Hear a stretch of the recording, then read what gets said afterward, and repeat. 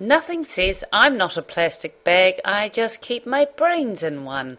Like buying an Anya Hindmarch eco friendly shopping bag off eBay for about one squillion percent more than it will cost you at the shop. This rare, limited edition of only 20,000 bags could be bought at the shops for $15 each, but hungry eBayers happily forked out more than $400 a bag. As the market threatened to call, clever sellers bundled three versions from three continents, and the crowd went mental all over again.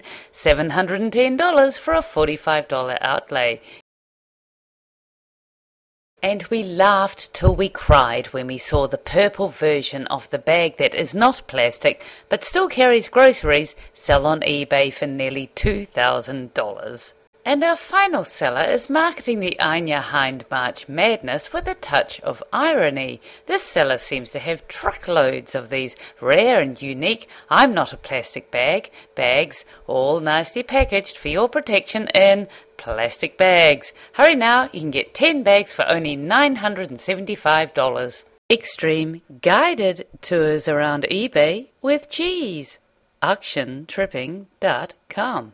You go.